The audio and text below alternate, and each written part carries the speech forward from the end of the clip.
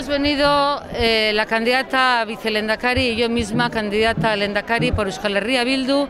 para expresar nuestra solidaridad, nuestro apoyo, nuestro cariño y nuestro gran abrazo a las mujeres y hombres de la compañía Esquivel. Creemos que los partidos deberían tomar conciencia de que los derechos de la mujer no se defienden un único día al año, que las mujeres tenemos derechos no solo el 8 de marzo, sino el resto de los días y que no vale hacer eh,